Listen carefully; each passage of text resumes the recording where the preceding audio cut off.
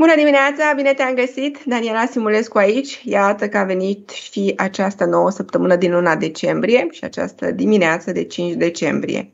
Astăzi nu am un aspect despre care să-ți povestesc, însă îl continuăm pe cel de el, să ne aducem aminte, a fost un care între Venus și Neptun, nu foarte plăcut niciodată, un care între Venus și Neptun nu este plăcut și ne apropiem de un care între Mercur și Jupiter.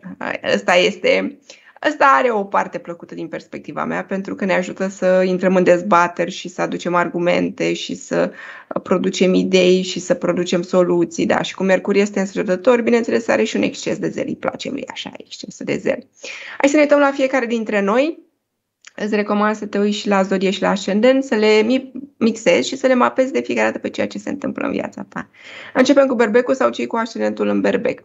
Ei, s-ar putea ca susține dreptatea să fie cel mai rău lucru pe care îl poți face zilele acestea, pentru că o vei face într-un mod în care îi va respinge pe cei din jurul tău și tu vei spune, da, da, o fac ca să fie corect, ca să fie drept, ca așa mi se pare mie normal. Și îți vor zice, da măi, dar mai las-o încolo de treabă, nu te agita de atât de mult că nu are rost. Trecem la Taur sau cei cu ascendentul în Taur. Cred că nu ți-a prit deloc acest careuderi. Venus, guvernatoarea ta cu Neptun, continui acest, pe acest drum și trebuie să-ți atrag din nou atenția asupra cheltuielilor și asupra investițiilor. Acum, la final de an, să nu te gândești, domnule, n-am făcut nimic tot anul și fac acum. Trecem la gemeni sau cei cu ascendentul în gemeni. Tu resimți serios zilele acestea, Uh, chiar dacă nu avem astăzi un aspect. De ce? Pentru că, iată, mâine Mercur va face un care cu Jupiter. Deci ești foarte agitat, indiferent. Poți să bei tu câte ceaiuri vrei. Poți să mănânci, să bei un lapte cald seara, să dormi, tot agitat vei fi. Trebuie doar să accepti că ești agitat și să nu te lupți cu acest lucru. Trecem la rac sau cei cu ascendentul în rac. Munca. Munca ești foarte hirupizile acestea. Treci de la una la alta, uh, Uh, ceva îți place după care nu-ți mai place, nici tu, ce, nici tu nu mai știi ce vrei să faci și cum mai vrei să faci.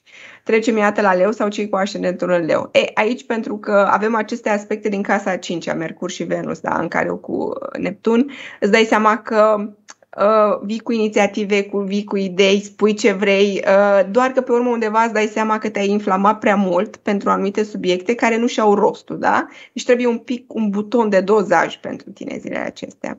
Deci la fecioară sau cei cu ascendentul în fecioară, e, Uh, nici tu nu știi ce să mai crezi de oamenii din familie. Adică te-au rugat să zici niște lucruri, te-au rugat să faci anumite lucruri, te ocupa cu plăcere, dar parcă acum nu le mai convine sau nu-ți mai convine nici ție. Și va fi așa o neînțelegere interioară, o tensiune permanentă și tu ești printre cei mai agitați din zilele acestea, să știi.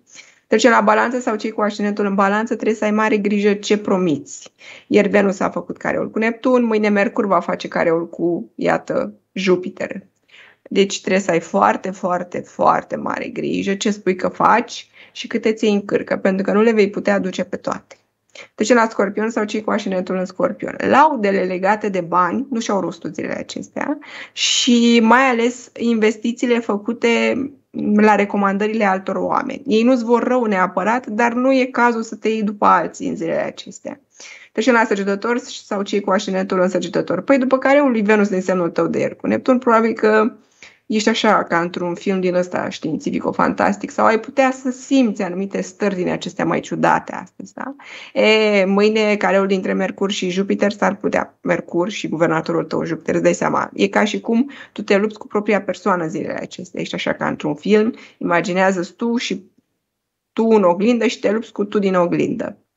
Deci la Capricorn sau cei cu ascendentul în Capricorn, uh, epuizare mentală foarte mare, îți atrag atenția că nu are rost să te implici, să, să, să-ți iei proiecte în plus. Iată-i finalul lunii, finalul lunii te va prinde cu câteva uh, și anul, a finalul anului te, te va prinde cu câteva planete în casa întâi, dar până atunci sfatul meu este să nu tragi de tine.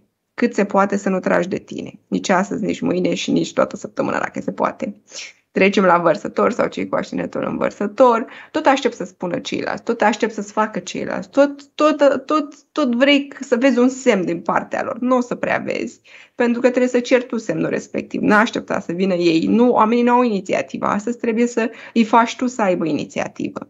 Trecem la pești sau cei cu ascendentul în pești. Uh, e, e multă confuzie legată de anumite decizii pe plan profesional.